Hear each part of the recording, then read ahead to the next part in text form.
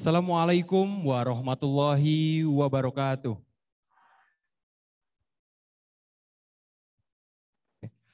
Alhamdulillah alamin. Selamat siang uh, kepada teman-teman calon mahasiswa baru Universitas Nusa Putra dalam dan salam sejahtera bagi kita semua.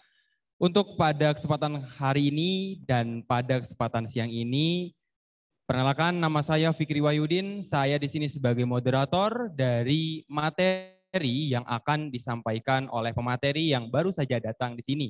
Nah, beliau di sini akan menyampaikan beberapa materi yang sangat dibutuhkan oleh teman-teman semua. Mohon izin untuk Ibu, saya akan membacakan sedikit CV-nya.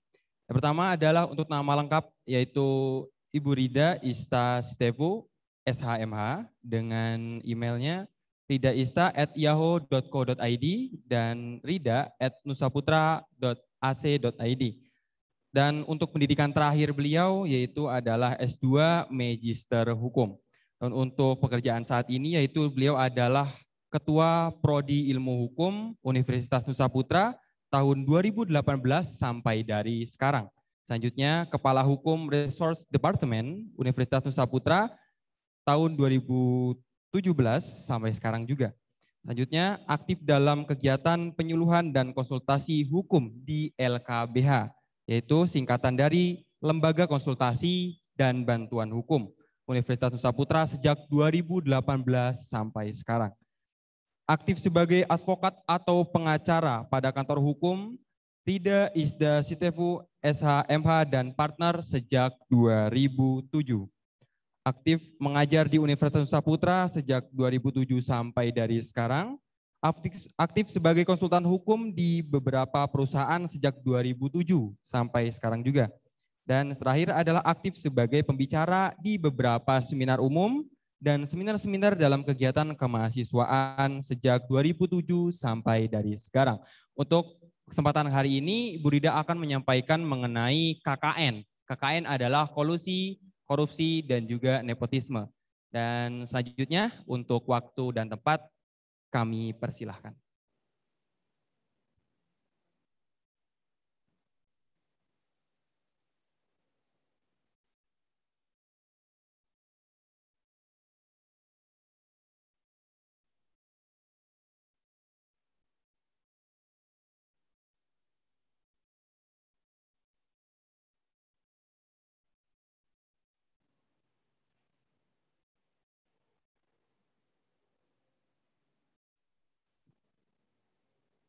Ya, memenuhi protokol ya.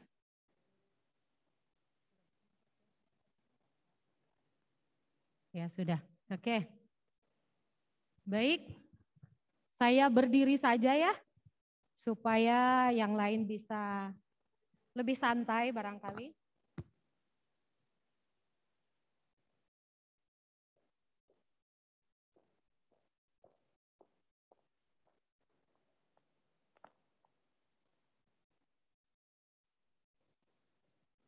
Ya, semangat pagi semuanya. Waduh, masih semangat ya kelihatannya ya.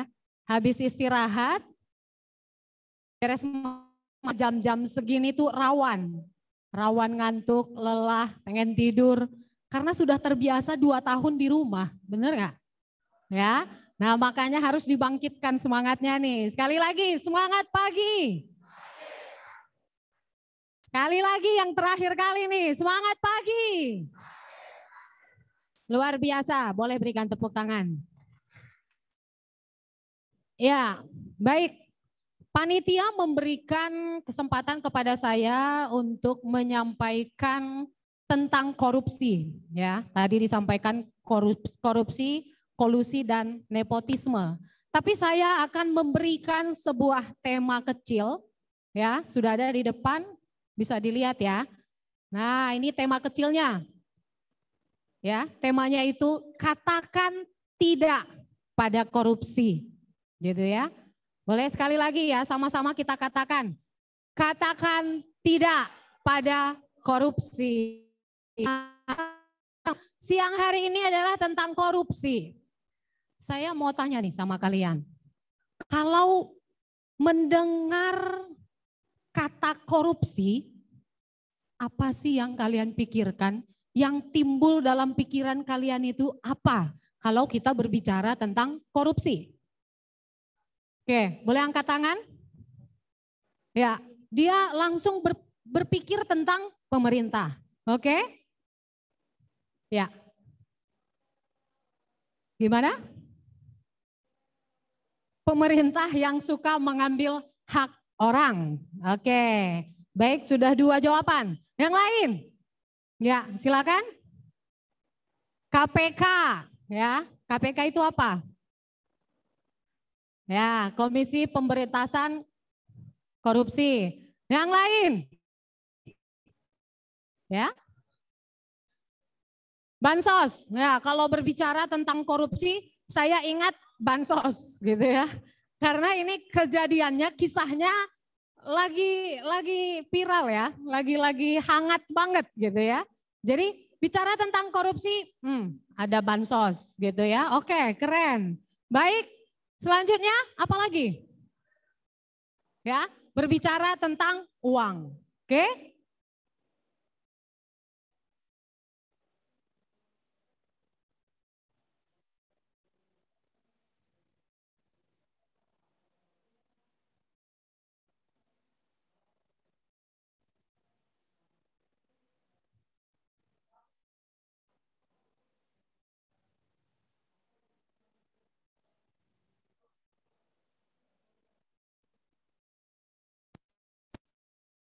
Gratifikasi barangkali? Mengambil hak rakyat? Oke. Oke, berbicara tentang uang ya. Baik.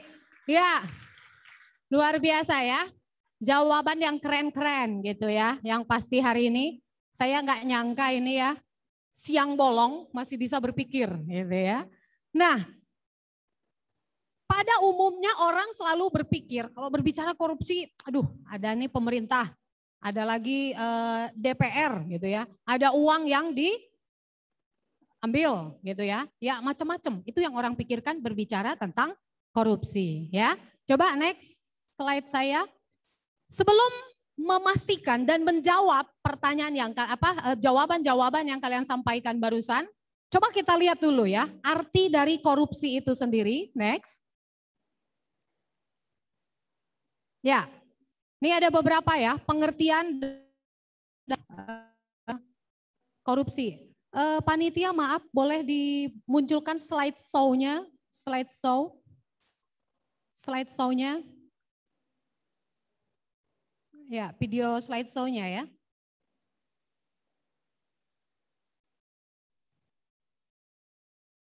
Ya, sambil panitia berjalan ya.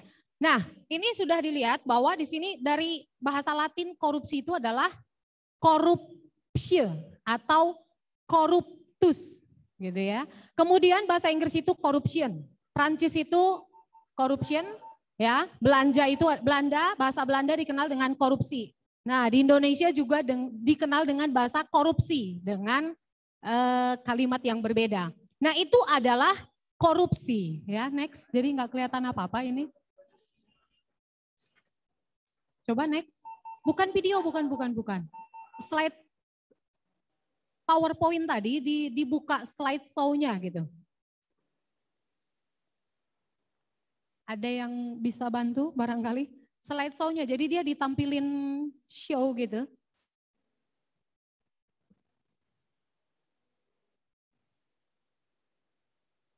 Ini masih video yang tampil nih bukan video. Kembali ke slide saya tadi aja. Ya, oke, okay. baru coba nanti next. Jadi ya, seperti itu ya maksudnya ya. Nah, ini adalah pengertian tentang korupsi, gitu ya. Nah, dan banyak contoh-contoh korupsi. Gitu ya. Salah satunya apa? Contoh korupsi itu suap. Oke, istilah lain suap itu dikenal dengan apa? Ya. Kerennya apa? Bahasa Sundana. Bahasa Sundana teh naon ya teh? Ya? Oke, bahasa hukumnya apa? gratifikasi gitu ya. Nah, terus contoh yang lain dari korupsi apa? Penyelewengan. Oke, terus? Hah? Cuci? Cuci uang ya. Nah, nanti kita akan lihat ya, apa pengertian dari korupsi itu dari arti yang sebenarnya dengan pengertian secara hukum. Jadi ada dua perbedaan ya. Pengertian korupsi dalam bahasa sehari-hari atau arti sebenarnya dengan pengertian korupsi dari segi hukum. Next. Ya, kita lihat dulu pengertian hukum dari yang sesungguhnya atau dari segi etimologis ya atau arti sesungguhnya dari sebuah korupsi. Next, panitia. Lanjut. Ya. Kebaca enggak? Ya, arti korupsi itu dari segi etimologis, arti yang sesungguhnya ya, kita belum bicara hukum. Ini berbicara tentang kebusukan, kebejatan, ketidakjujuran, disuap, tidak bermoral, dan penyimpangan. Jadi korupsi itu bukan hanya urusan pemerintah saja gitu loh. Korupsi itu bukan urusan uang saja.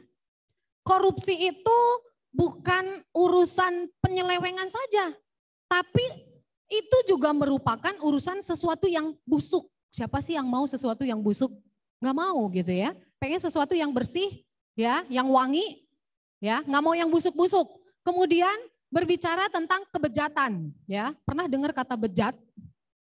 Ya, kamu sungguh kan sesuatu yang kata-kata yang terlalu udah kasar banget ya. Kalau kita bicara kejat. Tapi itulah korupsi gitu loh. Korupsi itu bejat, korupsi itu busuk. Kemudian disebutkan lagi korupsi itu adalah tidak jujur. Jadi kalau kalian ya pernah melakukan sesuatu dengan tidak jujur, itu juga korupsi gitu ya. Barusan kan langsung penghakiman, benar nggak? Korupsi itu apa? Pemerintah gitu ya. Apa bansos, ya urusannya uang, suap ya. Oke itu semuanya real gitu. Tapi pengertian korupsi yang sesungguhnya itu adalah setiap hari yang kita lakukan gitu loh. Adakah di sini yang sesuatu yang tidak jujur? Semuanya di sini orang jujur? Ada yang pernah berbohong di sini? Boleh angkat tangan siapa yang pernah berbohong? Ya, wah ternyata di sini koruptor semua. Gitu ya. Kenapa tadi kita menuduh pemerintah? Kenapa menuduh legislatif gitu ya? Kenapa menuduh orang lain? Padahal kita sendiri adalah koruptor gitu loh. Ya karena di sini disebutkan korupsi itu ketidakjujuran itu adalah korupsi gitu loh. Kalau tidak jujur ya salah satunya bohong. Makanya dari sekarang jangan suka berbohong. Kalau dari sekarang sudah mulai berbohong, maka nanti setelah lulus, setelah jadi pejabat, jadi penipu. Ya, siapa yang suka berbohong? Semua tadi. Kok nggak tangan lagi sekarang? Siapa yang suka berbohong? Ah, nggak ada lagi di sini pembohong. Tadi siapa yang pernah berbohong? Angkat tangan semua. Ya, nah itu adalah orang-orang calon penipu Gitu ya. Jadi siapa koruptor itu yang sesungguhnya? Saya. Gitu ya. Nah itu adalah korupsi ya. Nah selain tadi ketidakjujuran ada juga tidak bermoral gitu ya. Itu juga korupsi. Korupsi dari arti yang sesungguhnya. Kemudian yang terakhir tadi penyimpangan ya. Siapa ke sini tadi naik motor? Siapa yang naik motor ke sini? Semua pakai helm? Pakai? Nah, pakai ya? Oke, semua pakai SIM? Punya SIM? Nah, itu penyimpangan gitu ya. Jadi koruptor itu siapa? Saya. Bukan pemerintah, bukan anggota DP. Gitu. Saya. Ya, kita coba lihat ya contoh-contoh korupsi. Next, panitia. Next. Halo? Ya, ini adalah contoh-contoh korupsi ya. Tidak memakai helm, ya itu Anda melakukan suatu penyimpangan. Kemudian yang kedua, datang terlambat. Tadi panitia semua peserta di sini datang tepat waktu? Datang tepat waktu enggak panitia? Nah, itu dia korupsi itu, gitu ya. Korupsi apa? Korupsi waktu, gitu ya. Ah, Ibu juga korupsi barusan telat masuknya. Ya, panitia saya di sini dari jam berapa? Ya, dari pagi. Saya dari jam 10 sudah dari kampus. Ya, cuma memang saya menunggu ya. Informasi sudah ready, Bu. Berarti yang belum ready tadi siapa? Panitia atau peserta? Saling menuduh, ya. Kalau dari peserta bilang panitia, kalau panitia bilang peserta, gitu ya. Mari sama-sama kita korupsi. Oke, kemudian korupsi uang negara itu udah pasti ya. Kemudian nyontek. Siapa yang pernah nyontek di sini? Ya, tuh. Saya aja pernah nyontek kok. Gitu ya. Dulu saya masih sekolah tuh masih suka nyontek. Ya, nggak tahu saya tuh benar atau enggak gitu ya. Pokoknya apa jawabannya gitu ya. Nah, ternyata saya dari kecil udah koruptor. Ya, tanpa saya sadari gitu ya. Nah, itu adalah pengertian korupsi dalam arti yang sesungguhnya. Gitu ya. Banyak contoh-contoh yang lain. Next. Ya. Next. Oke. Nih, dalam lingkungan sekolah. Ada yang pernah gagal masuk sekolah favorit? Atau perguruan tinggi favorit? Saya nggak lihat. Saya ada yang pernah? Oke, ada yang pernah melakukan sesuatu untuk bisa masuk sekolah favorit? Ya? Tidak. Eh, 25 persen tidak. 75 persennya korupsi. Gitu ya. Next. Oke, lanjut. Ya. Nah, dalam kampanye, jangan bilang caleg itu yang korupsi. Pernah terima kaos kampanye? Pernah terima Pepsoden dari caleg? Pernah terima topi dari caleg? Ya, padahal milih ogente gitu ya. Milih juga enggak tuh, tapi kaosnya ya ambil aja gitu ya. Nah, itu adalah korupsi. Ya, contoh berikutnya. Lanjut. Kali ada yang orang tuanya yang berdagang di pasar, atau Anda adalah korban-korban dari perbuatan korupsi dari seseorang, kita beli apa? Beli jeruk satu kilo, ya lihat timbangannya, ya bu ya satu kilo ya, oke. Padahal di belakangnya diganjel, gitu ya. Pernah pernah ngalamin itu? Pernah ngalamin itu? Ya, kalau saya pernah mengalaminya. Pernah melakukan itu? Coba ya kalau mama papa yang jualan di pasar ya, mah pernah nggak bikin ganjel-ganjel gitu ya? Timbangan apa? Timbangan buah itu ya, atau timbangan sayur itu. Ya, kalau bikin ganjel-ganjel, nah itu juga satu kilo, padahal itu kurang sekian mil gitu ya. Kali sekian puluh kilo, nah itu udah berapa? Nah itu adalah korupsi. Ya, itu adalah arti korupsi yang sesungguhnya. Next, sekarang kita mau lihat arti korupsi menurut hukum. Ya, kalau tadi kita pelaku korupsi loh semuanya. Kalau menghakimi orang itu enak, bener gak? Kamu salah gitu ya. Kamu nggak benar. Ya nggak pernah, saya nggak benar gitu. Pernah nggak orang kayak gitu? Enggak ya. Nah, sekarang kita lihat ya, lanjut next. Ya, arti lanjut lanjut. Ya, Lanjut, satu lagi. Next. Undang-undang tahun 2001. Ya. Kita lihat apa arti korupsi menurut hukum.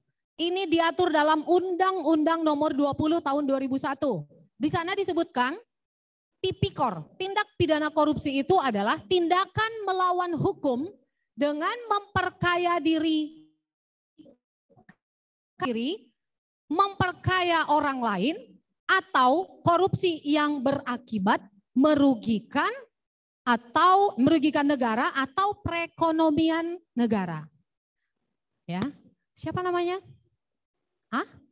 Aldis, prodi mana? Teknik informatika. Nih ya, saya kasih ilustrasi. Saya punya perusahaan ya, Altis punya perusahaan ya.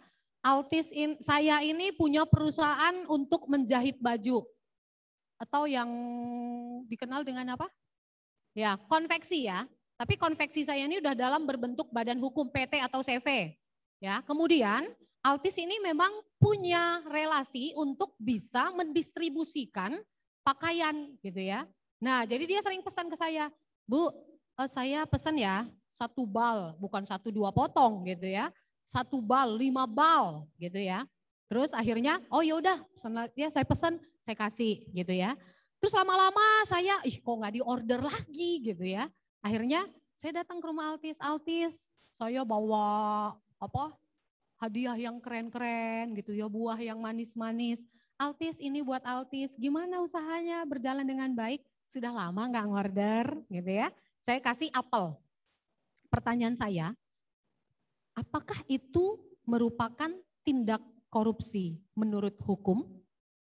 Baca pengertian tadi.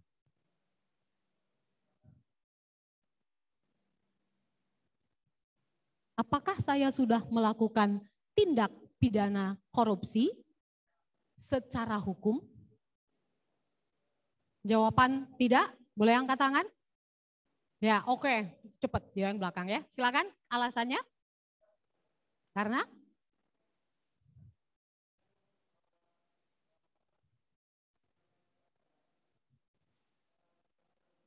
saling berhubungan. Jadi kalau saya kasih hadiah, kepada Altis, apakah itu tindak korupsi atau bukan?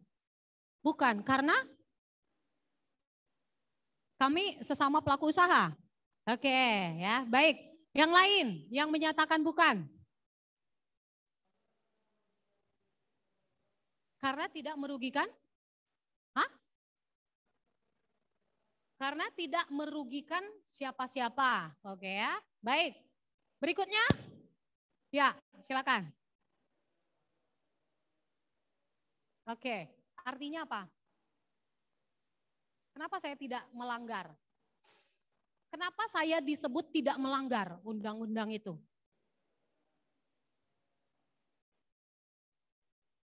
Ya? Tidak tidak berurusan dengan tidak mencampuri urusan negara. Yes, good saya secara hukum bukan pelaku tindak pidana korupsi. Kenapa? Tadi unsurnya di situ jelas ya. Ya. Merugikan negara atau perekonomian negara. Jadi kalau tidak ada uang negara di situ, berarti itu bukan tindak pidana korupsi. Ya larinya paling ya moral gitu ya. Apakah ada pelanggaran hak asasi manusia, beda lagi undang-undangnya gitu. Tapi yang pasti pemberian hadiah yang saya berikan kepada Altis itu bukan tindak pidana korupsi. Karena tidak ada uang negara di situ. Nah kalau begitu contoh korupsi itu bagaimana? Sudah pandang-pandang saya. Coba. Bansos. Kenapa bansos itu menjadi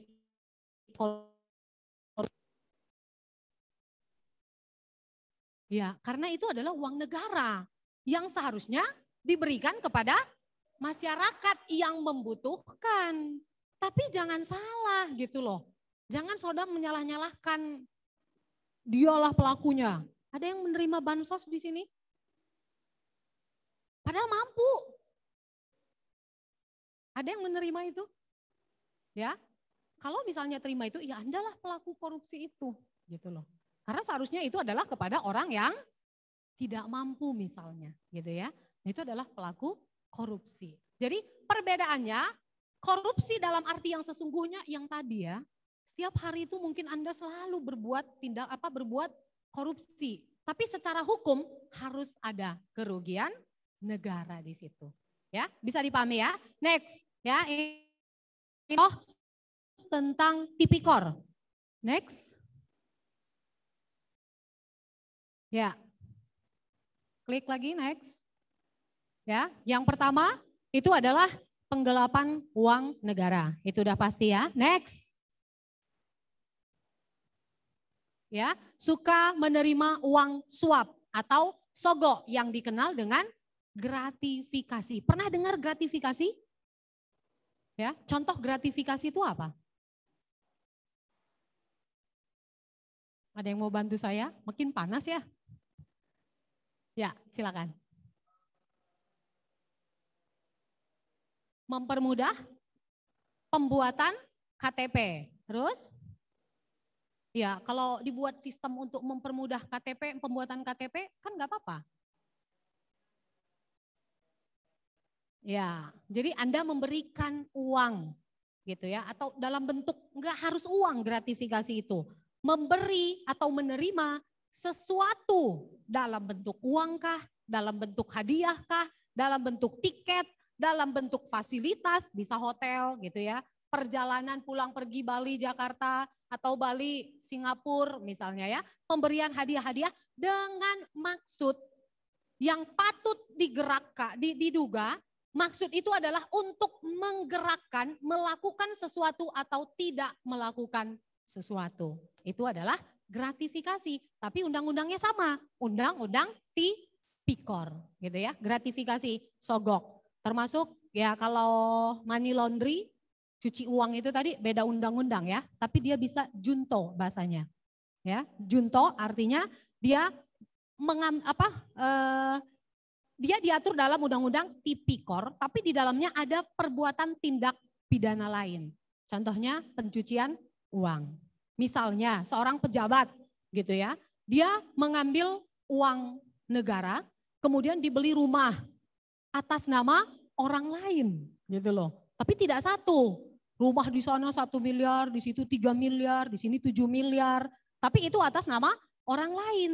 Tapi ada bukti dugaan kuat bahwa saluran uang yang dia belikan untuk aset atau fasilitas tersebut adalah hasil korupsi ya. Next. Ya, ini ya gratifikasi kemudian memakai kekuasaan untuk kepentingan sendiri. Oke, lanjut. Next.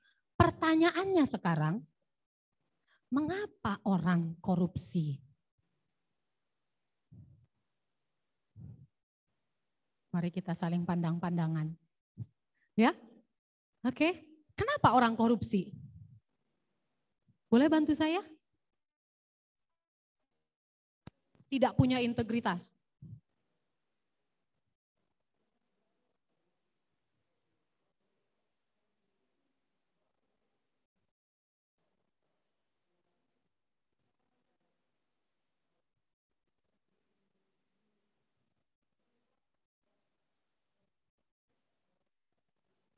kepentingan.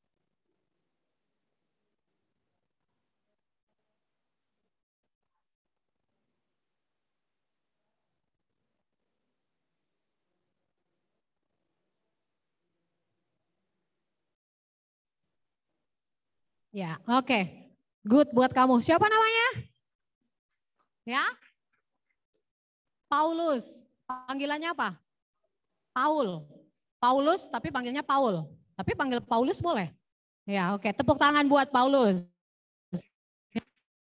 Korupsi. Next. Kalau kita pikir-pikir ya, yang korupsi itu orang yang banyak uang kok. Bener nggak? Ya dia pejabat gitu loh. Uangnya banyak gitu loh. Dia punya rumah, punya jabatan, punya gaji yang tetap, punya tunjangan yang jelas. Tapi kenapa dia korupsi? Gitu ya. Nah, ini tidak bisa dipungkiri berbicara tentang kesempatan. Gitu ya. Kesempatan, memang ada kesempatan untuk melakukannya. Saudara, kenapa tidak ada yang tidak ada mahasiswa? Bukan berarti ke depannya tidak ada ya. Ya sejauh ini jarang ya mahasiswa atau anak SMA gitu ya pelaku tindak pidana korupsi. Kenapa? Memang ada kesempatan juga, benar nggak? Dia nggak pernah mengelola uang negara. Paling yang dia kelola itu adalah uang kas di kelas, gitu ya. Nah dia hanya melakukan korupsi biasa. Ya, nah kemudian lanjut. Ya, banyak alasan-alasan orang melakukan korupsi. Panitia tadi ke mana? Next. Ya, ada dua alasan ya yang bersifat internal ya. Satu bicara tentang religi ya, religi. Bisa juga dikaitkan dengan integritas. Integritas itu apa? Integritas itu apa? Apa itu integritas? Kejujuran, akhlak, terus disiplin. Ya itu adalah sifat-sifat integritas. Integritas itu adalah berbicara ya di atas ya, tidak di atas tidak. Itu adalah integritas. Walaupun ada kesempatan untuk korupsi, saya tidak mau korupsi. Gitu ya. Walaupun korupsi itu sudah menjadi tetap tidak mau korupsi. Itu adalah orang yang berintegritas. Walaupun panitia telat-telat, Allah setiap kali ada pemateri telat lagi, nggak apa-apa silakan kalian telat. Yang penting jam satu saya tetap duduk di ruangan ini. Itu adalah orang yang berintegritas gitu ya. Nah jadi alasan orang melakukan tipikor itu adalah karena kurangnya integritas. Jadi mahasiswa sejak dini harus menanamkan integritas yang baik dalam diri kalian. Kalian pernah lihat ada orang sukses tapi sombong? Pernah lihat? Kalian suka atau tidak? Enggak suka kan? Sekarang saya mau katakan hati-hati. Jangan sampai dalam waktu tertentu kalianlah orang itu. Gitu ya. Sukses tapi sombong. Ya, itu adalah orang yang tidak berintegritas. Ya, ini banyak yang dari luar kota ya. Kalau dari Nias kemarin katanya punya moto, pantang pulang sebelum mana Nias? Ya, Nias. Kemarin apa kata pemimpinnya itu? Pantang pulang sebelum sukses gitu ya. Artinya Anda mengijakkan kaki di Nusa Putra, ada yang masih ragu-ragu, bener nggak sih ini teh jalan hidup saya? Bener nggak sih pilihan saya, saya masuk hukum? Benar nggak sih sebenarnya saya itu masuk manajemen? IT itu sebenarnya bakat saya atau tidak? Gitu ya. Ya. Hari ini saya mau katakan, saya juga sama seperti Anda. Saya ini master hukum yang tidak pernah punya cita-cita jadi orang hukum. Gitu ya. Bahkan saya masuk hukum, saudara tahu alasannya apa? Karena bapak saya masuk hukum. Tapi apa yang terjadi? Saat ini saya hidup dari hukum. Gitu ya. Dengan profesi yang digeluti, dosen yang tidak pernah saya cita-citakan, tapi saya jadi dosen, gitu ya. Saudara juga begitu. Mungkin ada yang merasa salah jalan, gitu ya.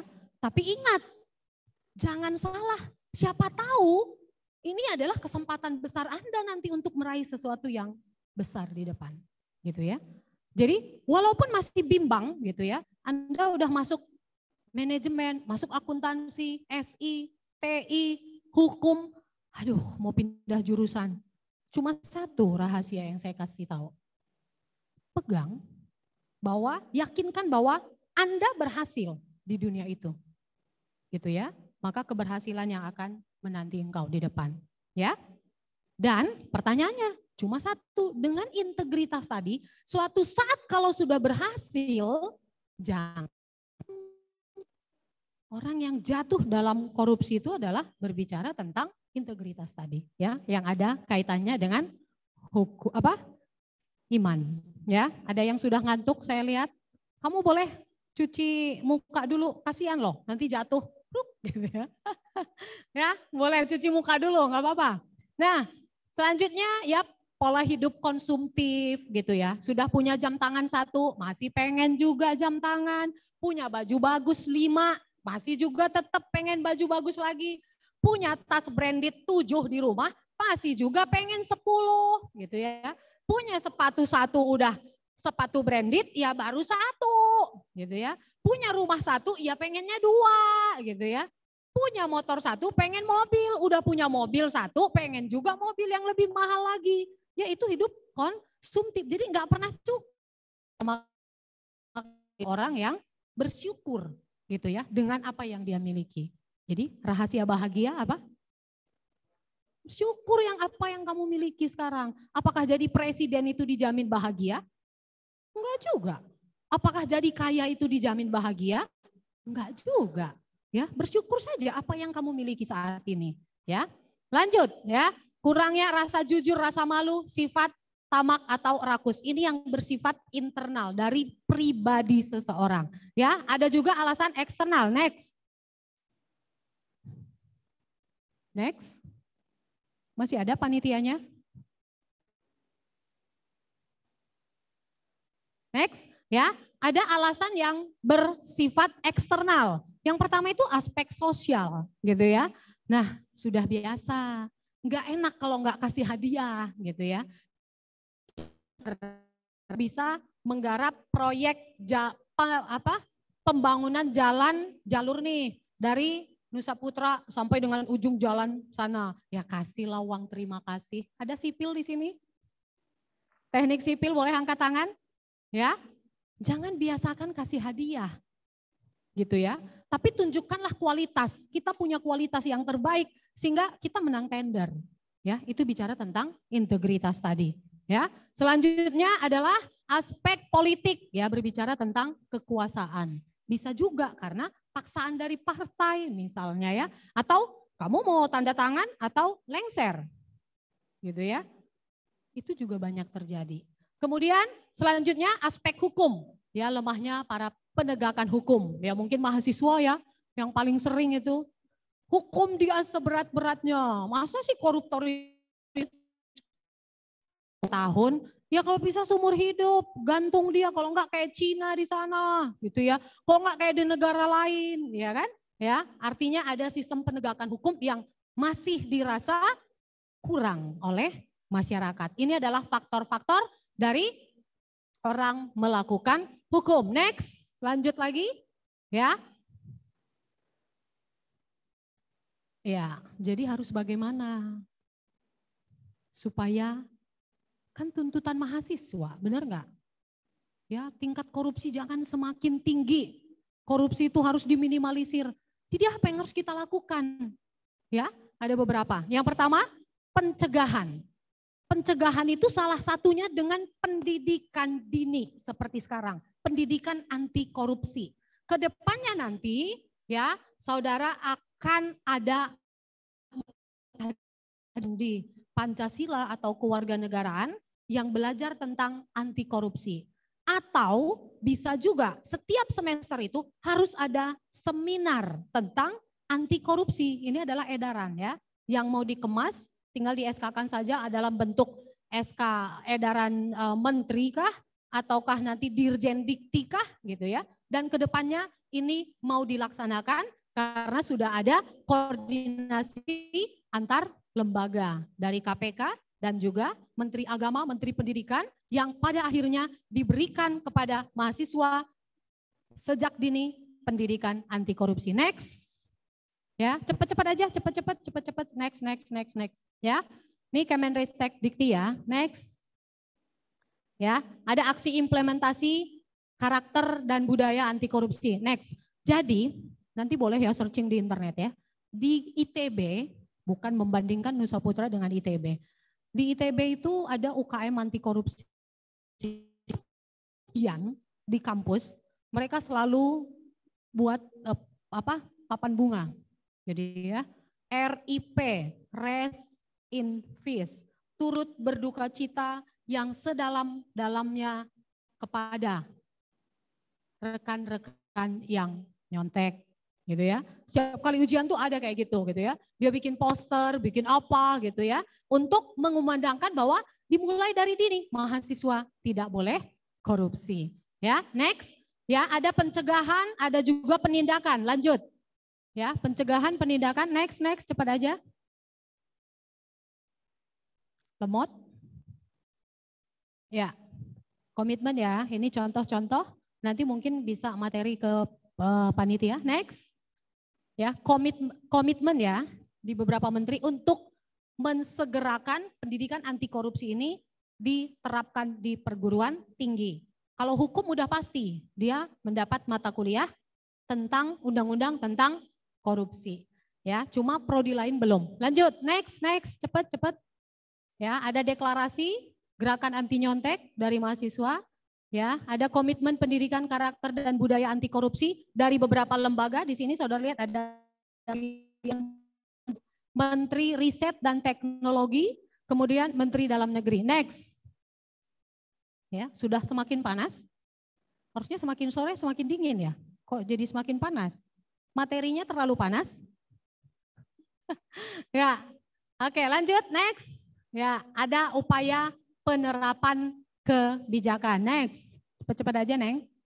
Ya, penerapan kebijakan, jalur penal, itu adalah jalur hukum, pembentukan lembaga anti korupsi. Kita sudah punya ya, KPK. Kemudian ada pembentukan instrum, instrumen yang mendukung tentang undang-undang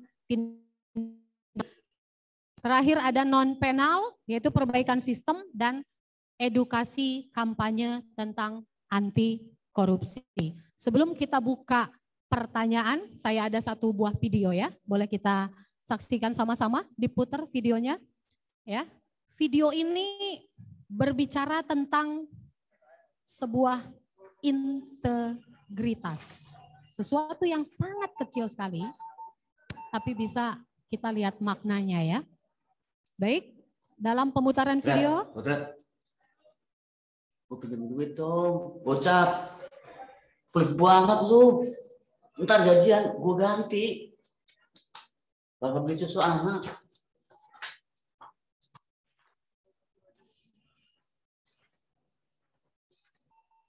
Tidak terlihat.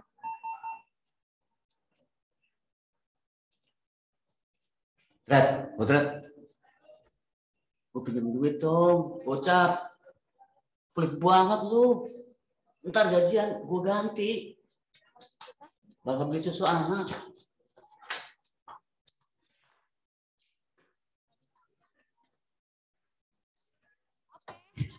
Sayang ya, nggak bisa kelihatan. Tapi kalau yang yang yang zoom dari rumah mungkin bisa ya.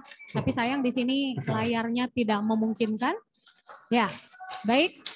Itu saja yang bisa saya sampaikan. Gimana, siang. Man? Masih banyak? Siang ini mau dipakai ya? Ya. Bersihin. Siap, Pak, siap. Baik, itu yang bisa saya sampaikan. Selanjutnya mungkin sesi tanya jawab. Enggak, silakan. Kan ke moderator ya.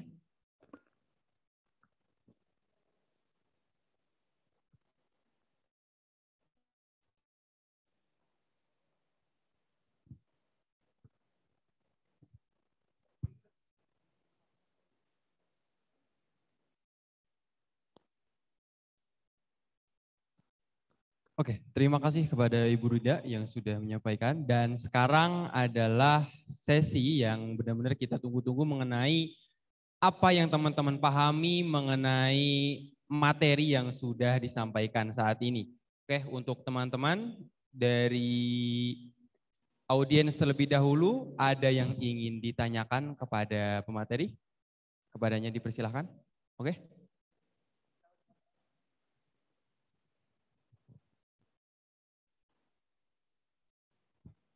Assalamualaikum warahmatullahi wabarakatuh. Eh, Selamat siang semuanya. Perkenalkan, saya Sinta Dewi Hendriani dari Prodi Sistem Informasi. Sistem Informasi. Izin bertanya, Ibu. Nah, di daerah saya eh, ada vaksinasi. Desa ini mengadakan eh, program vaksinasi. Nah, karena awal-awal adanya vaksinasi ini, masyarakat masih takut dan belum percaya untuk divaksin. Lalu eh, terdapat berita yang eh, terdapat berita di masyarakat bahwa yang tidak melakukan vaksin di desa tersebut tidak dapat eh, tidak akan mendapatkan eh, bantuan sosial lagi atau bansos untuk ke depannya. Nah, eh, apakah ini merupakan sebuah tindakan korupsi dalam segi eti, etimologis atau bahkan dalam segi menurut hukum. Terima kasih.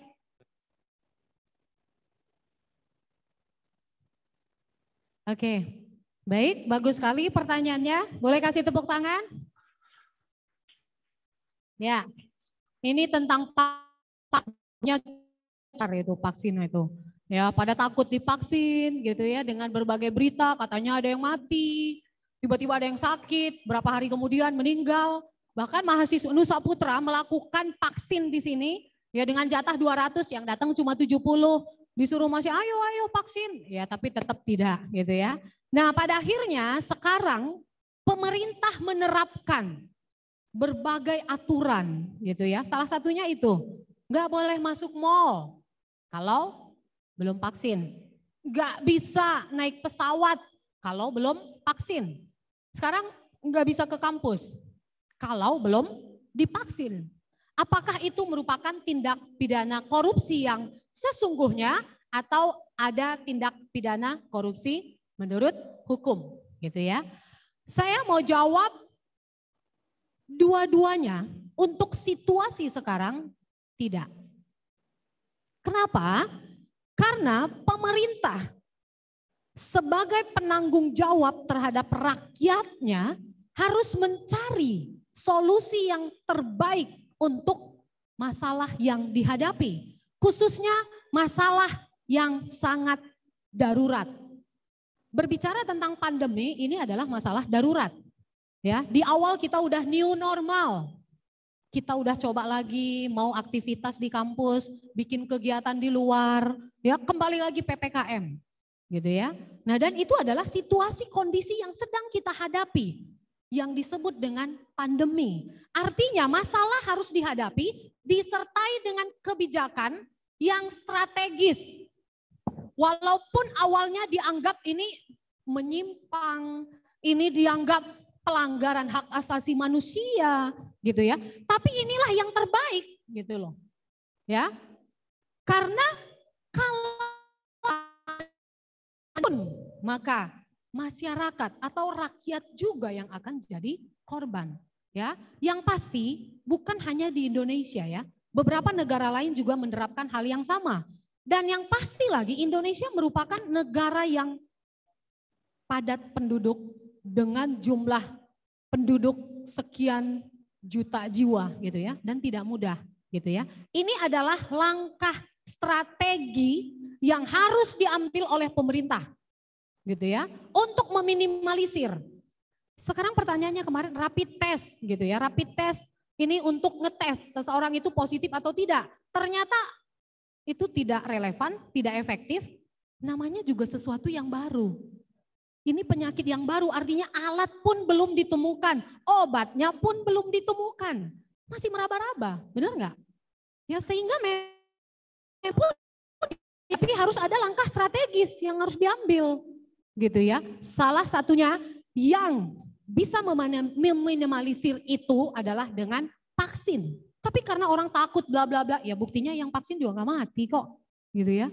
Saya juga awalnya sama seperti kalian, takut. Ya tapi saya udah vaksin yang kedua kali, gitu ya, nggak mati gitu ya. Saya udah kena COVID juga, gitu ya. Udah kena COVID, vaksin lagi katanya. Kalau dulu, kalau udah kena COVID, nggak boleh divaksin. Sekarang kena COVID juga, divaksin juga gitu ya. Pemerintah salah? Enggak juga. Karena memang belum ada penelitian yang apa bahasanya ya? Yang real, yang memang akurat tentang itu. Karena ini adalah sesuatu yang baru. Dan pada akhirnya nanti berangsur-angsur sekarang beralih dari rapid test menjadi antigen. Karena itu ternyata lebih akurat. Nah sekarang beralih lagi ke PCR. Tadi mahal gitu loh. Tapi kan ini dicari solusi sehingga sekarang bisa ditekan lagi harga PCR. Kalau nggak salah Jawa ya, Jawa Bali itu hanya 400 ribu dari 900 ribu. Meskipun bukan berarti tidak ada penyimpangan di situ. Salah satunya bansos.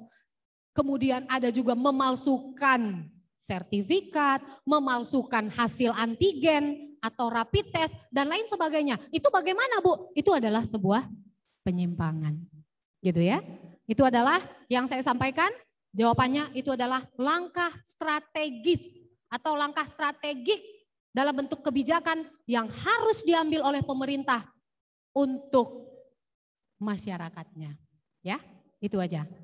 Baik, semoga puas. Terima kasih ya.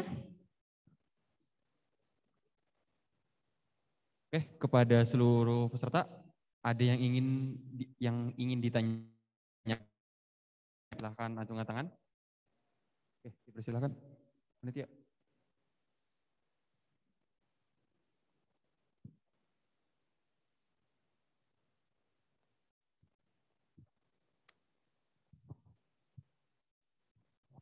Eh, baik, selamat siang Ibu.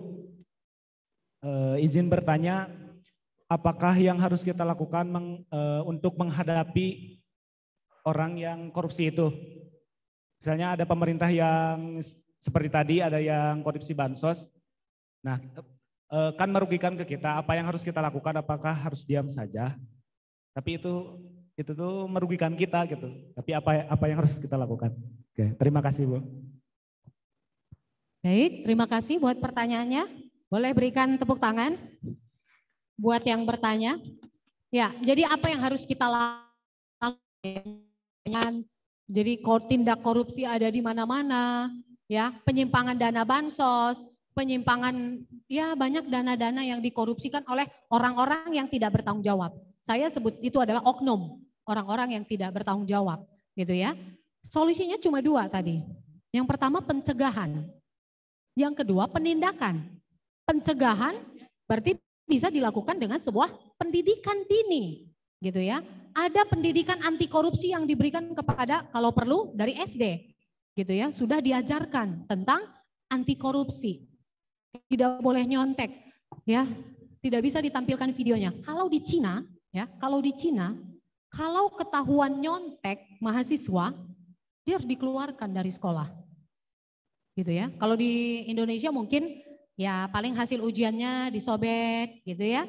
Kemudian eh, dianggap gagal. Tapi kalau di negara lain itu tidak, keras gitu ya. Nah sehingga dari sejak dini diberikan sebuah pendidikan untuk pencegahan. Dan pemerintah sudah melakukan itu. Seperti yang tadi ya, kerjasama antar menteri, menteri agama, KPK, menteri pendidikan, menteri dalam negeri untuk mengemas ya suatu tindakan ya pendidikan dini anti korupsi terhadap anak sekolah dan juga mahasiswa. Kita tunggu ya nanti edarannya seperti apa. Karena memang sosialisasi itu baru dua tahun yang lalu, cuma keburu covid gitu. Nah mungkin ada program yang tertahan, ada program yang belum bisa dijalankan karena semua dialihkan perhatian kepada kesehatan. Ya, nah pencegahan itu yang harus kita lakukan. Kedua, tadi penindakan. Ya berarti harus ditindak keras terhadap pelaku tindak pidana. Ditindak keras ya berarti tadi penegakan hukum. Sekarang sebenarnya udah ancaman hukumannya tinggi ya untuk tipikor itu. Minimal satu tahun untuk kerugian di bawah 50 juta. Minimal empat tahun untuk tindak pidana gratifikasi pasal tertentu gitu ya. Karena korupsi ini kan beda-beda, kerugian negaranya juga kan beda-beda. Programnya seperti apa? Tapi undang-undang itu minimal satu tahun. Artinya seorang koruptor tidak akan pernah dipidana tiga bulan atau lima bulan, minimal satu tahun. Ya kalau saudara bisa lihat ya tindak pidana koruptor sekarang saya lihat di berita ya cukup tinggi gitu ya. Ya dengan berbagai pertimbangan. Walaupun di sana sini tetap ya penyimpangan-penyimpangan di tubuh penegak hukum sendiri pun gak bisa dipungkiri gitu. Yaitu menjadi tugas tanggung jawab kita. Jadi dari sekarang solusi terakhir dari saya milikilah integritas yang tinggi. Jadilah mahasiswa yang jujur, mahasiswa yang berkepribadian. Ya di atas ya, tidak di atas tidak. Gitu ya. Itu aja yang bisa saya sampaikan. Terima kasih. Itu pertanyaan terakhir. Satu lagi. Oke, baik. Oke, kita kasih kesempatan dari peserta Zoom ya. Untuk selanjutnya izin bertanya Ibu, ini namanya dari Ska. Bila mana di negara ini melakukan sebuah korupsi atau salah satu orang dari korupsi tersebut, siapa yang menanggung kerugian keuangan negara akibat ulah koruptor? Boleh saya baca kembali? Yang mana ini? Rizka ya. Siapa yang menanggung kerugian keuangan negara akibat ulah yang koruptor? Ya, jadi setiap ada perbuatan tindak pidana, maka ada uh, ancaman hukumannya. Pertama adalah tindak pidananya, pidana penjara atau kurungan, tapi penjara ya, ataukah seumur hidup, ataukah berapa tahun, itu udah pasti tindak pidananya. Nah kemudian eh, ada yang namanya subsidiar dalam bentuk denda. Ya seperti kayak kemarin Setnop gitu ya. Dia dihukum lima tahun. Berapa tahun Setnop teh? Stiano Panto? 12 tahun. Ya, kemudian hak politiknya dicabut selama lima tahun. Kemudian ada denda. Tapi kembalikan, maka dia harus menjalani kurungan namanya. Misalnya dendanya 5 miliar, subsidiarnya berapa tahun? Dua tahun kurungan. Jadi hukuman pokok tambah lagi dengan hukuman kurungan tadi. Ada yang mengembalikan uang gitu ya, membayar denda tersebut. Ada juga ya udahlah, udahlah udah kepala, kepala tanggung di penjara 10 tahun, tambah dua tahun lagi, gaya tuh gitu ya. Ngapain saya bayar-bayar 5 miliar, 5 miliar masih cukup biaya hidup di penjara, kasarnya seperti itu, ya. Dan sampai saat ini memang denda ini jarang. Cuma ada yang memiskinkan ya. Ada pernah saudara lihat dieksekusi, hasil kejahatannya rumahnya disita, gitu ya. Nah, itulah yang dikembalikan kepada negara. Ya walaupun kadang satu triliun gitu ya. Aset yang bisa disita Ya mungkin hanya sekedar 1M atau 5M atau 500 miliar gitu. Ya kenapa? Karena mungkin ada harta-harta tertentu dia nggak peroleh dari hasil korupsi. Tapi memang harta warisan dari ibunya, nah itu tidak boleh disita oleh negara. Jadi kerugian itu ketika seseorang itu tidak bisa disita, tidak ada aset yang bisa disita dan tidak mengembalikan denda, ya negara Ya itulah akibat dari korupsi itu. Negara dirugikan. Kemudian siapa yang bayar KPK? Negara. Pengadilan? Ya tetap negara. Jadi negara yang dirugikan gitu. Makanya jangan di, jadi korupsi gitu ya. Karena negara rugi gitu. Rugi dengan uang yang dikorupsikan, rugi juga dengan prosedur prosedur yang dilaksanakan. Itu kan punya biaya semua ya untuk setiap proses hukum adat gitu ya. Belum lagi KPK. KPK misalnya ada satu eh, apa namanya yang menjadi tar target gitu ya. Target ya kan mereka harus intel gitu ya. Kadang harus berangkat ke Bandung, mungkin harus berangkat mereka ke Singapura untuk menyelidiki sebuah kasus. Itu semua biayanya dari negara gitu. Makanya ya negara kerugiannya jadi double-double. Selain uang yang dirugikan, prosedur dan juga stakeholder yang harus gitu ya mengungkap kasus tersebut juga butuh biaya juga ya termasuk polisi, KPK, kejaksaan ya, hakim dan lain sebagainya. Ya, kurang lebih seperti itu ya. Begitu teman-teman untuk pertanyaan mungkin kita cukup sekian kan karena memang sudah banyak yang ada mana nanti ada sesuatu yang mengganjal bisa saja nanti teman-teman untuk menghubungi kontak email beliau atau teman-teman bisa mempelajari kembali materi yang sudah disampaikan. Oleh sebab itu, terima kasih kepada Ibu Rida yang sudah menyempatkan hadir pada kesempatan hari ini dan kami selaku panitia Eh, mengucapkan banyak terima kasih kepada para peserta yang sudah bertahan pada kesempatan hari ini. Terima kasih, kami undur diri. Wassalamualaikum warahmatullahi wabarakatuh. Terima kasih, Bu.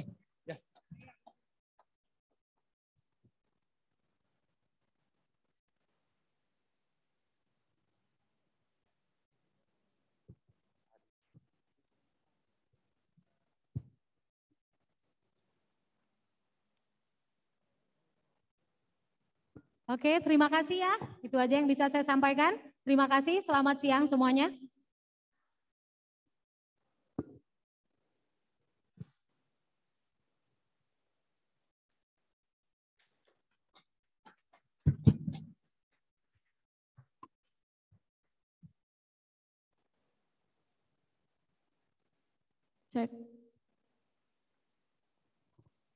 Oke, itu dia pemateri dari Bu Rida mengenai korupsi, kolusi, dan nepotisme. Gimana? Ngerti gak? Ngerti Nggak, paham nggak? Paham. Paham nggak? Paham nggak? Paham. Pada nuliskan? Oke. Eh, mungkin di, eh, di sini ada berapa orang yang mau tanya dulu yang jurusan hukum? Boleh angkat tangan? Yang, Yang tinggi, yang tinggi, yang yang tinggi. Aku mau hitung dulu. Enam orang ya. Nanti jangan dulu pulang ya. Eh, ketemu dulu sama aku. Tujuh, oke. Gimana? Masih semangat gak? Mabim 2021. Back to nature for the future. Kurang, kurang, kurang, kurang. Genusian. Mabim, Mabim 2020. Aduh maaf ya Bang Ardinya emang itu lagi banyak pikiran. Ya, belum makan Bang. Mabim 2021.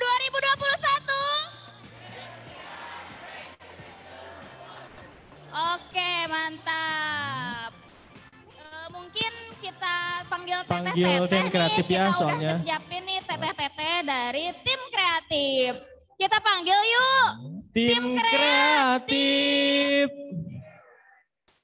Ulangi ah, tim kreatif. Piu, piu, piu. Keras dong biar mau masuk tim kreatif. Kita Teteh udah siap nih mau nampilin sesuatu. Iya Oke, dong. semangat Teteh. Siap.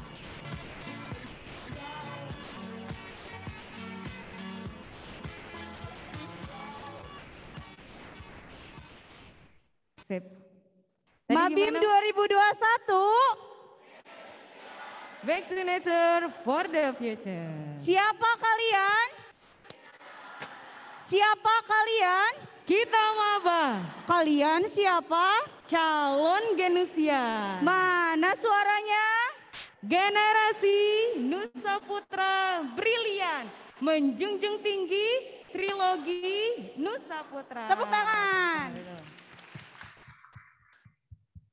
Pejihan, Ya, Teh sekarang Mei. kita mau menampilkan sesuatu nih. Ada Tampilin. sebuah Men- mau menampilkan foto-foto unik karya maba. Foto challenge. Ya, foto challenge. Tapi Boleh, boleh. tidak semua foto, hanya beberapa foto yang kita pilih dan langsung aja. eh, selamat menonton ya. Siap? Oke, satu, dua, tiga, check it out. Perhatikan ya. Lon, hey. Lon. Kelihatan ya? Hey, hey. Nih, ada yang nangkring di atas pohon. 나는 내tum 다리니 나는 기다리지. Nih, di atas batu nangkringnya. 보다 더 뜸들이니 난 속도져. 지내고 있는 건가? 나를 보는 Pakai baju Arabi. 내 착각이었나 섣부른 Ada yang gendong 고백이었나 ayam 어기면 jago. 너 싫으면 너참 생각 많아진다 Nih, 그 앞에 얼어붙어 너의 대답만 무작정 기다리다 속도 상되겠네 1초 2초 3초 1년 2년 3년 겁니다 발끈 멋있어 제발 들이지 마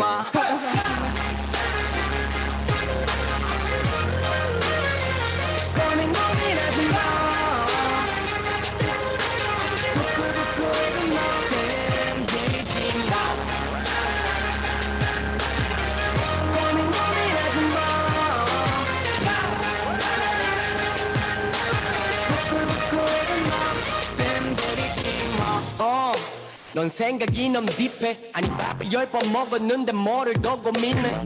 뭘 먹은 벙어리 여전히 넌 나를 남자로 안 보니 오케이. 알통 보여줄게 이제 픽해. 왜 말을 못해? 이 사람이 내 사람이다. 왜 말을 못해? 바라볼 때 방패연해 줄 달아줘도 날리지 못해. 밥상을 떡 차려주고 숟가락 껴줘도 먹지 못해. 불쑥 찾아온 봄날의 Oke. Tepuk tangan dulu dong. Coba mau tahu nih pada keren-keren ya, Teh Mi. Tadi yang tadi ada di foto, ada gak di sini orangnya? Coba, ada gak? Yang nangkring di atas pohon deh, yang nangkring, yang tidur gini. Perempuan. Yang nangkring di atas pohon. Gak Ada ada. gak? Kenapa? Ya, yang nungging di ini bukan? Hah? Siapa? Yang di gunung, kamu? Yang di Gunung Tumpeng. Oh itu di Gunung Tumpeng, yang pakai celana itu ya? Yang pakai celana batik. Oh boleh baju ke depan ceritain kenapa sih kok bisa gitu di foto di atas batu sambil nungging gitu? Mau satu-satu atau semua? Ada yang pak eh, fotonya bareng ayam. Ada gak? Perempuan fotonya sama ayam.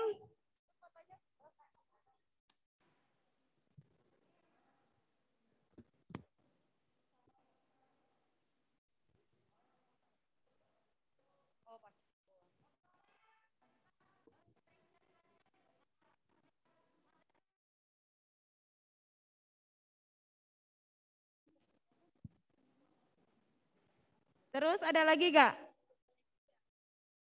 Yang merasa ada di sana? Kelihatan gak tadi?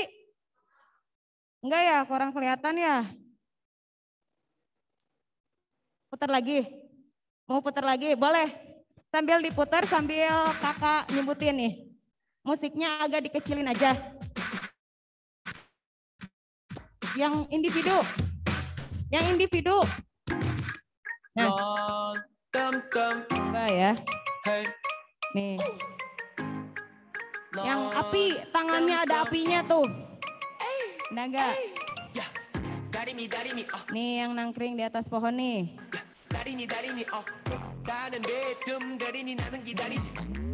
Itu, itu ya? Itu itu gimana ceritanya? Kok bisa ada di atas batu? Eh, jadi Ke teman-temannya dong, ke teman-temannya ceritain. Eh, jadi di suatu hari saya tuh ingin eh, kan saya orang Jampang ya di Geopark. Saya ingin oh oke perkenalkan nama saya Seldi Maulidan dari PGSD ya. Eh, kan di Jampang itu ada Geopark. Nah saya coba menelusuri keindahan Indonesia gitu dan mendoknya di sana. Gak nyampe semuanya baru tiga gitu. Dan ternyata keburu capek. Jadi eh, menelusuri keindahan Indonesia itu kayaknya tidak akan bisa gitu. Tidak akan bisa. Oh, iya, tepuk saking dulu saking dong. hebatnya. gitu. Terus yang satunya? Yang mana fotonya? Yang di sawah.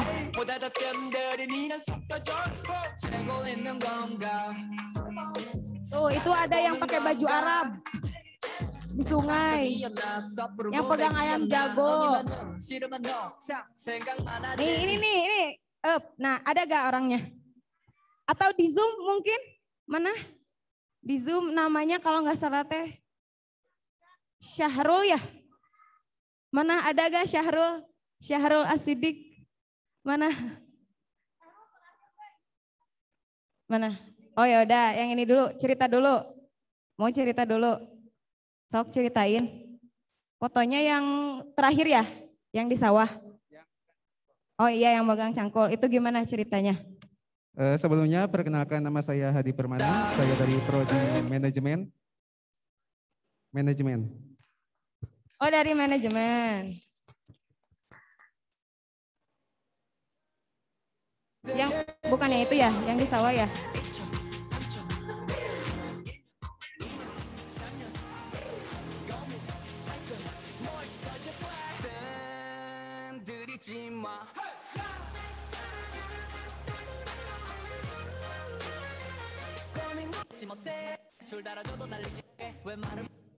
알통 보여줄게 이제 픽해 웬만한 사람이 더 못해 방패줄 달아줘 인생 멍어리 여전, 여전히 너나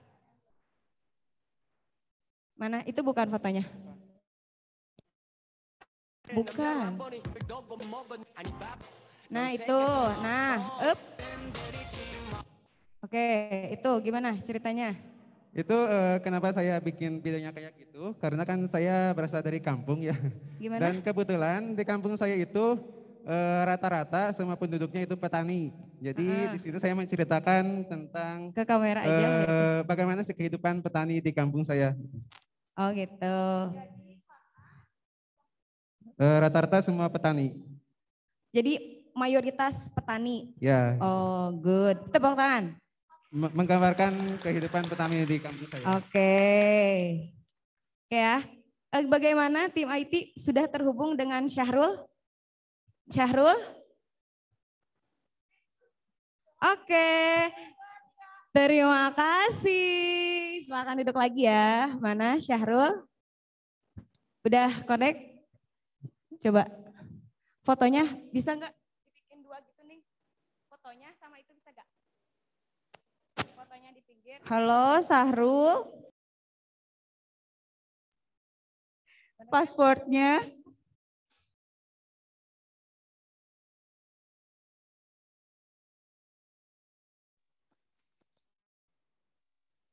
Assalamualaikum Jenusian, hai.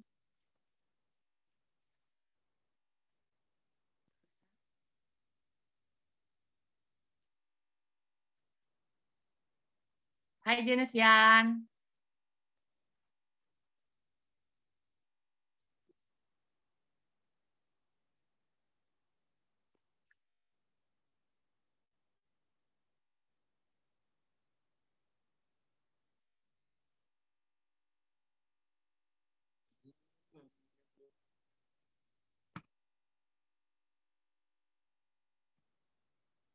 Hai Jenusian, udah gak bisa.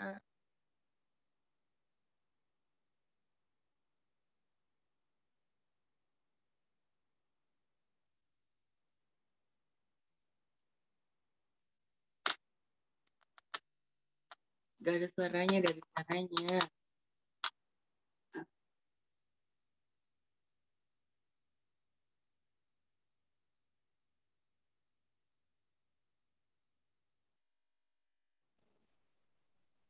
Syahrul, nama panjangnya Syahrul apa?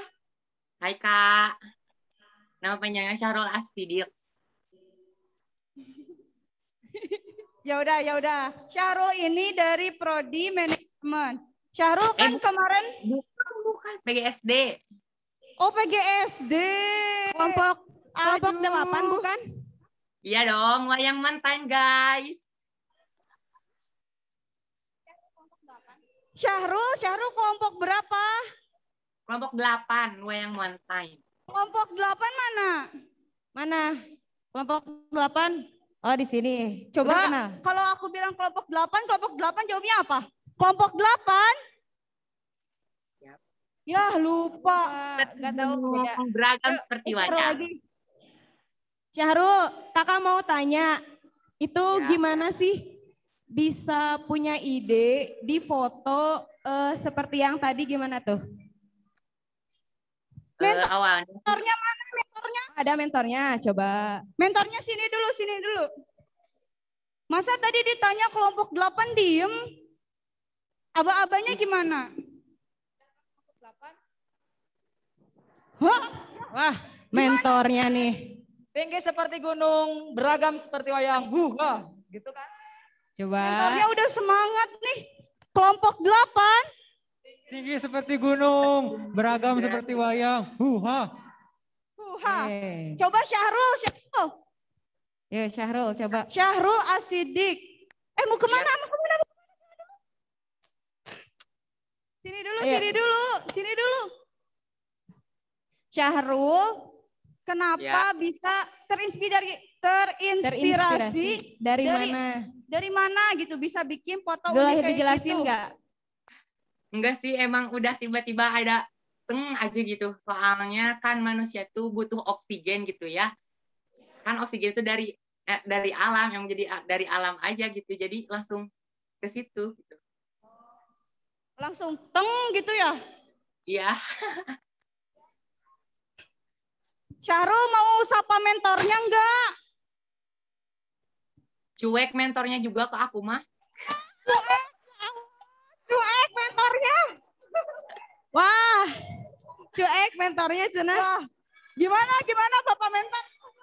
Itu kamu kan suka chat saya, jadi saya suka balas juga. Oh iya kan enggak cuma sekali doang. Emang emang mentornya emang mentornya cuek ya? Gak terlalu sih. Nggak tahu sih. Aduh. Mentornya cuek gak? Baik. Baik. Ah, Sahrul ini ada-ada aja ya. Emang suka nge itu. Sahrul, dipimpin sama mentornya ya. Ya, sok. Oke, Sahrul, jawab ya. Jawab Oke. apaan? Oke. Oke. Oke. Mabim 2021. Genusian back to nature for the future. Luar biasa, keren sekali. Aku pengen offline, tapi gak kebagian pengen ke situ. Oh, aku pengen offline tapi nggak kebagian katanya. Aduh, mentornya nih. Mentornya. Oke, jawab ya. Lagi ya. Masih semangat? Ah, yang mana? Lupa. Ayo fokus lagi ya, Sahrul. Biar gak disangka sombong dan cuek. Oh baik baik ini maka baik baik baik kok baik. Oke. Oke. Jawab nih. Siapa kalian? Lupa. lupa. Cie lupa. Apa teh apa teh astagfirullahaladzim. Aduh. Syahrul. Ya Kalau kak. kalau kita bilang siapa kalian jawabnya Kita maba. siapa Oh, iya. kalian? Kita Kita maba. ma- Ulangi ah, ulangi. Siapa kalian? kita maba. Kalian siapa? Ya. Ih. Calon genusian. Kalian siapa? Calon Calon genusian. Eh, mantap. Mana suaranya? Menjunjung trilogi. Mana suaranya? Mana suaranya? Menjunjung tinggi trilogi. Mana suaranya? Mana suaranya? Generasi Nusa Putra Brilian menjunjung tinggi trilogi Nusa Putra. Bisa gak Sahrul?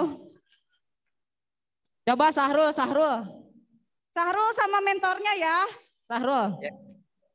Siapa kalian? Kita maba. Kalian siapa? Ma- Eh astagfirullah. Malu Sahrul, sumpah. fokus, fokus dong Sahrul. Ah, jangan gitu. Udah ngantuk anjir. Ulang ya, ulang ya. Ya. Ulang kakak mentor ulang. Kalian kedua, siapa? Kita maba. Siapa kalian?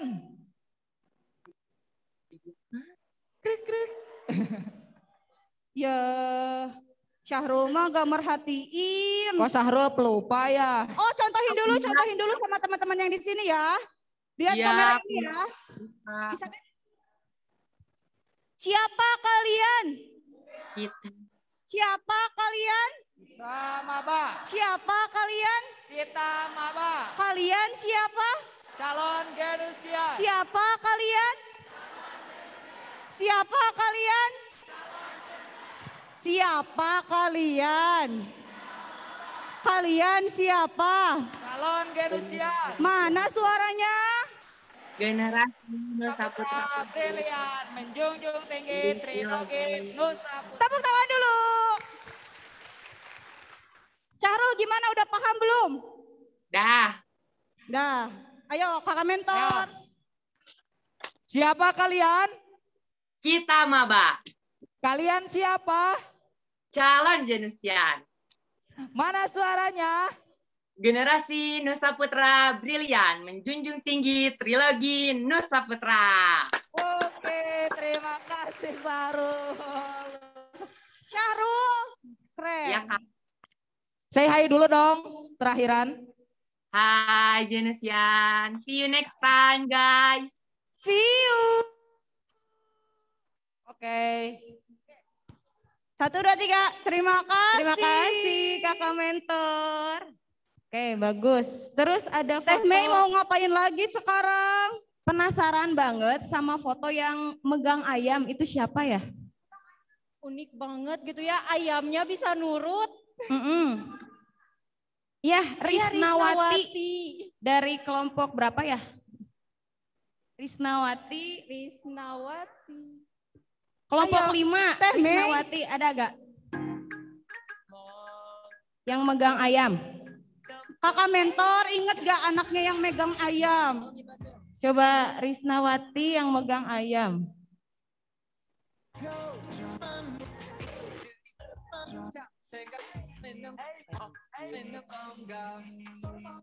Kelompok. Nah, Ah, ini. Ada Ada nggak? agak. Kakak mentor ini anak kelompok lima kalau nggak salah. kelompok lima, mentornya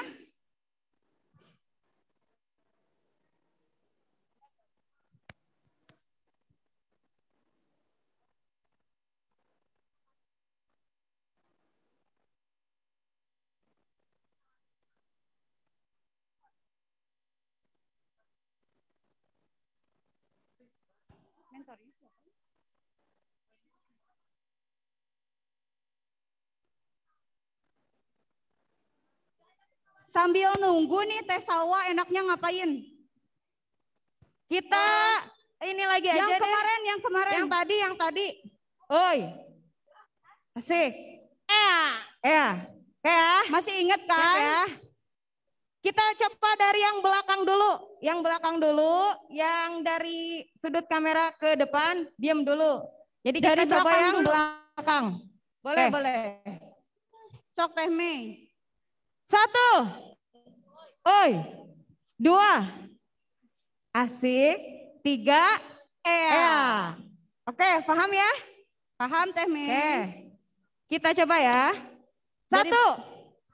Semangat dong. Ke sini, ke samping. Oh iya. gitu. Oke. Satu.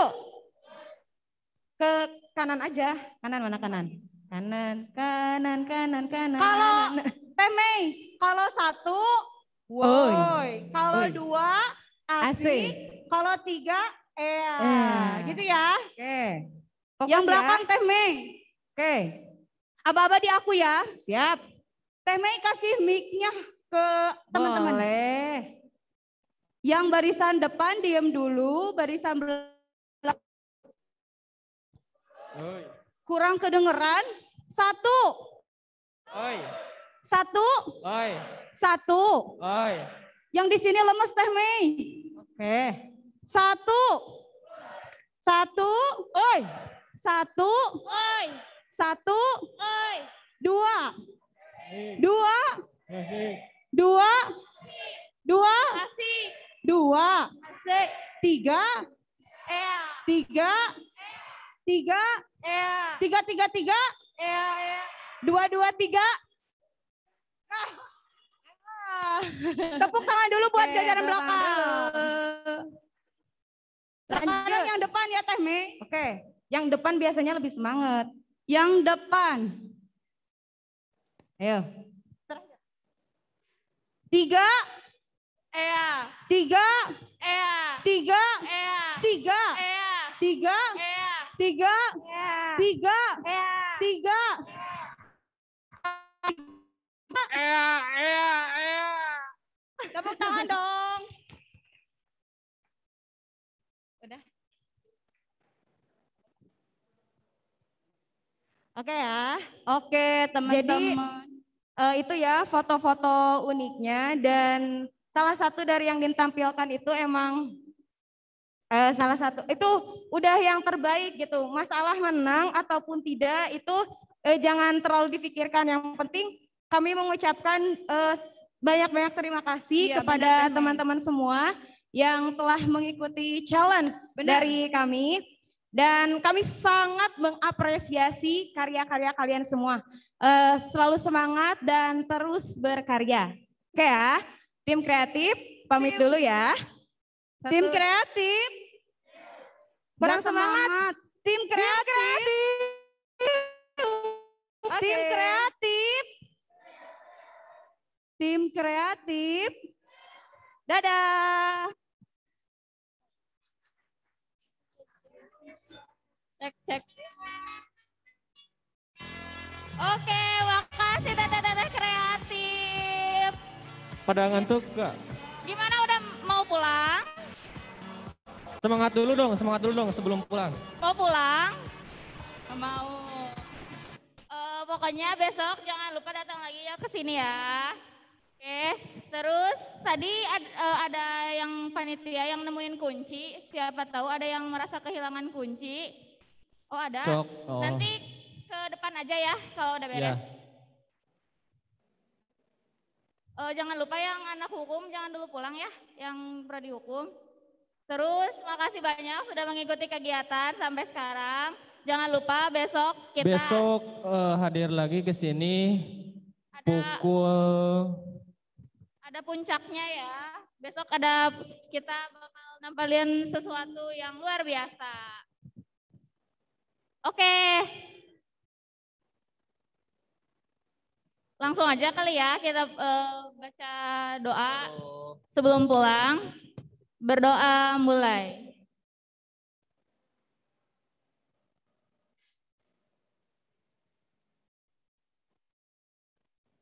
berdoa Tidak ada, selesai. tidak ada selesai dalam berdoa. Dan Oh, untuk mohon bertahap ya. operasi operasi Bertahap semut dulu dari teh. kelompok satu dulu. Operasi Mentornya ada. Oh ya operasi semut ya, jangan lupa sampahnya ya. sampahnya lihat ya di Yang di rumah kolong bye batu masing-masing ya.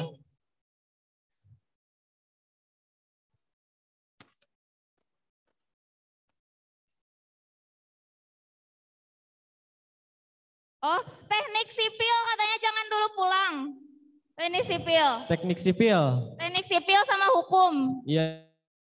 Jangan dulu pulang ya. eh, jangan dulu keluar dulu dari ruangan, nanti, Nanti di, di ru- di bawah luar tu- jangan, jangan dulu, dulu pulang. turun ya. Iya. Teknik sipil dan hukum. TI juga katanya. TI, Tiga ya. teknik sipil dan TI, hukum ya. Jangan dulu pulang. Teknik sipil, hukum jangan dulu pulang.